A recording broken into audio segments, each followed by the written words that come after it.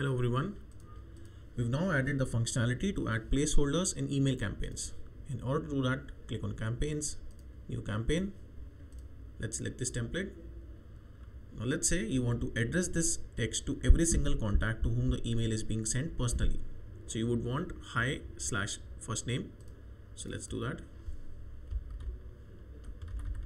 Let's replace this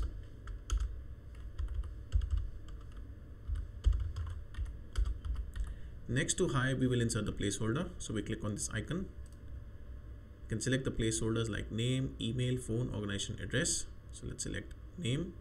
Let me move the cursor here.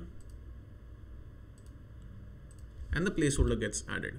So this way, when you're designing email campaigns in the text body, you can also insert placeholders and personalize the email content for the segment that you're sending the email to.